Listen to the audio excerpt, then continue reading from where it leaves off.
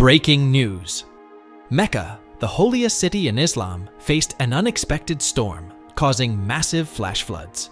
What makes this event even more intriguing is its impact on the revered Kaaba, a symbol of devotion for millions. Let's explore the deeper meanings behind these occurrences and their potential connection to biblical symbolism and the second coming of Christ.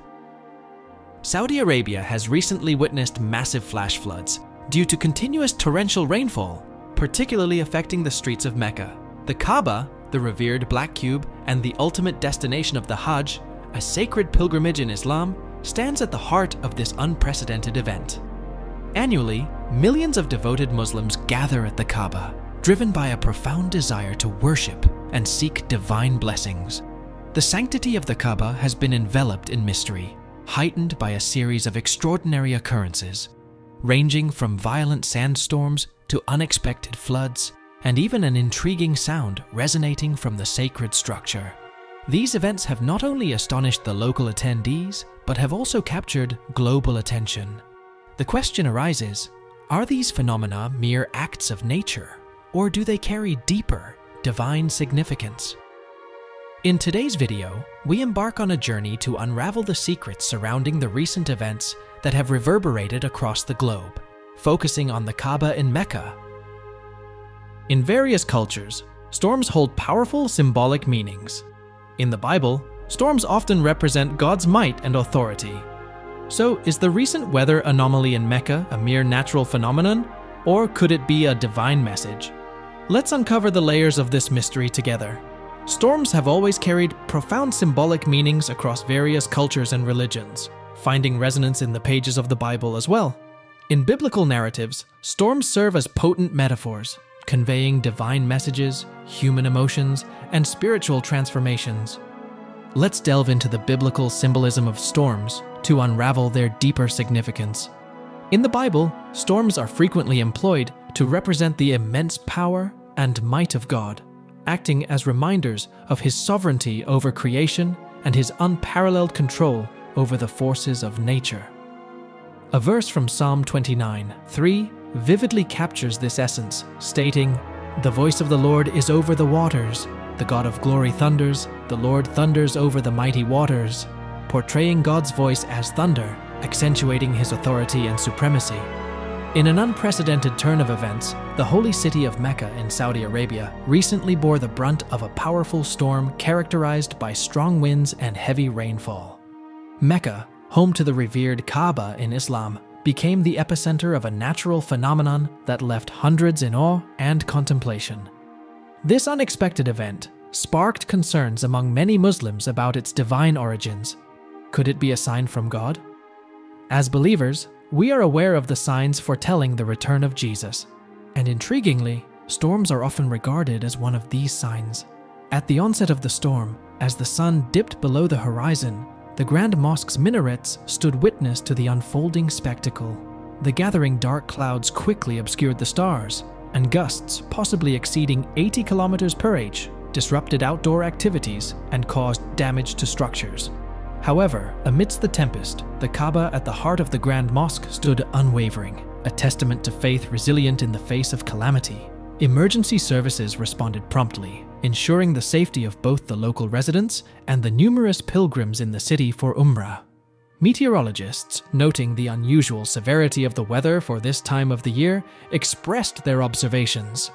The people of Mecca displayed an unwavering spirit despite the storm's intensity, Many shared images and videos on social media depicting the city veiled in rain, with the Kaaba standing steadfast in the background. This powerful visual, with the sacred structure adorned in raindrops yet untouched, conveyed a compelling message a call to maintain faith and persevere through life's storms. Despite the storm's intensity, the Kaaba stood resolute, untouched by the forces of nature. Pilgrims, motivated by deep faith, continued their rituals amidst the chaos. It's a powerful testament to the strength of faith in the face of adversity. Reinstating their traditions, pilgrims reverently circled the Kaaba, symbolizing their unwavering commitment. As the city undergoes recovery from the aftermath of the storm, authorities have initiated cleanup endeavors, issuing necessary cautions. meteorologists remain vigilant, monitoring weather patterns in anticipation of any unforeseen developments. The Kaaba, embodying the resilient spirit of the millions who devoutly face it in prayer daily, stands as an emblem of hope and fortitude amid the forces of nature. The Second Coming of Christ. Now let's shift our focus to the concept of the Second Coming of Christ. Described as a glorious worldwide event, its imminence suggests it could happen at any moment. As we reflect on these recent events, it raises a critical question Are we spiritually prepared for such a significant moment? The second coming of Christ is anticipated to be an extraordinary, global event, transcending any experience witnessed before, a culmination of Jesus' sacrificial act on the cross for humanity. Navigating through the intricacies of eschatology, we must grasp that the second coming signifies not the end of everything, but a transformative shift for humanity, beckoning us to choose Jesus Christ as our Savior. The profound magnitude of this event sparks numerous inquiries. What events preceded? How can we discern its timing? Will its manifestation be visible? Who qualifies for salvation? What becomes of those who have already passed away? How does Satan and his angels fit into this grand narrative? Our assurance of the second coming rests in the biblical revelation that mirrors the pattern of Christ's first arrival. A momentous event when he graced the earth as a sinless infant, lived a virtuous life, ministered compassionately, and sacrificed himself for our redemption. This return is destined to be a global phenomenon, prompting a natural curiosity about its timing. Why does God keep the timing a secret, even from angels?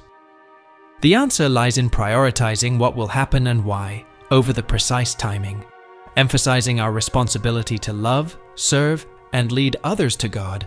The Bible highlights that undisclosed details do not impede God's plan in our lives and their revelation might not necessarily enhance our spiritual growth.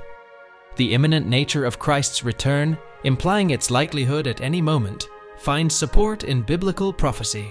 Evangelical teachings, while allowing for some doctrinal disparities, generally underscore the imminence of Christ's return. As Jesus repeatedly spoke of his return during his earthly ministry, his disciples sought to understand its timing. His response, found in Luke 12:40, underscores the unpredictability, urging readiness and alertness. Distinguishing between the second coming and the rapture of the church, the former awaits certain end-time events, including the tribulation. In contrast, the pre-tribulation view proposes that the rapture precedes the tribulation, making it imminent. Our salvation, ready to be revealed, hinges on Jesus' potential return at any moment setting in motion events detailed in Revelation 6 18. Preparing for this impending perfect storm requires a holistic approach mental, spiritual, and physical readiness. Repentance and total commitment to God become pivotal for individual and collective salvation. Despite divine mercy offering a chance to return to godly roots, the nation's corporate rejection has elevated God's impending judgments. As Christians strive for personal revival, collective revival in America becomes contingent on aligning with God's will and turning away from rebellion. The plea extends to the church to rise and shine, serving as instruments for revival amidst the impending perfect storm of judgment. The prayer resonates for judgment to lead to restoration and redemption rather than total destruction. A call for overcomers to lead in holiness, righteousness, and victory echoes, urging the church to embrace a stance free from worldliness and apathy. How can we prepare for this perfect storm? As we witness the unusual occurrences in Mecca, the call to repentance and returning to God becomes more pronounced. The storm, potentially symbolizing judgment, challenges us to examine our spiritual readiness and seek restoration and redemption through repentance. We must ready ourselves mentally, spiritually, and physically for what lies ahead. God desires not only individual salvation, but also the redemption of nations, contingent upon sincere repentance and wholehearted commitment to Him. While I maintain hope for the salvation of my nation, America, current signs point towards redemption through the refining fires of judgment and tribulation. God's mercy has granted us an opportunity to return to our godly foundations, but as a collective body, we have turned away, and our national sins have reached a point of divine indignation. Consequently, we face escalating judgments, compelling us, as the church, to generate a revival that permeates the land.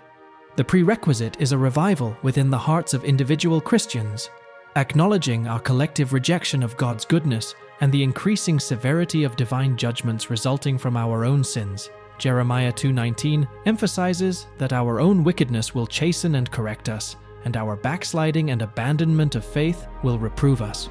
This bitter consequence arises from forsaking the Lord, being indifferent to him, and lacking the fear of the Lord. God's will in these judgments is the salvation, protection, and mighty use of his people to manifest his kingdom on earth in every nation. To achieve this, a wholehearted return to God, adherence to his will, and turning away from our own ways are imperative. The urgent call echoes for the church to rise and shine, serving as instruments for revival. Prayers are lifted for the perfect storm of judgment on America to lead to restoration and redemption, not total destruction. Overcomers are invoked to rise and lead the church into holiness, righteousness, and victory, free from worldliness and apathy. Is this a Jesus' good omen? In conclusion, the recent events in Mecca compel us to introspect our spiritual preparedness. Beyond the natural elements, there's a profound message calling us to turn back to our faith. Primarily, it is essential to recognize that God holds control over the weather. Bad weather, defined here as destructive weather, occurs only with His permission. However, it is also integral to understand that weather is inherent in the natural order established by God. Bad weather is a consequence of the fall, and it is unnecessary to interpret every storm as a specific judgment. A theological consequence worth noting is that if God controls the weather, no other entity does. Unlike many ancient Near Eastern deities associated with weather, God's mastery over all atmospheric conditions serves as a reminder to his people about the futility of pursuing foreign gods.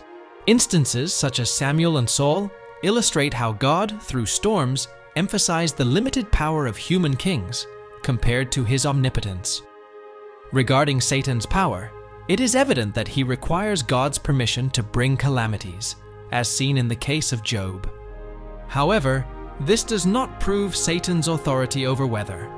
While bad weather is not necessarily punishment for specific sins, God can employ it to either punish wrongdoers or protect the righteous, as seen in various biblical examples. Yet, such interventions are rare, and the experience of bad weather is a consequence of living in a fallen world.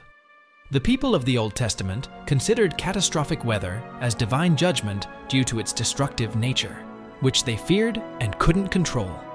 Storms were metaphorically linked to judgment, often seen as a result of sin or divine discipline. However, there's a crucial distinction between their perspective and contemporary sermons about finding shelter in the storm. In the biblical context, God was in control of the storm, and storms were perceived as elements of divine discipline or testing.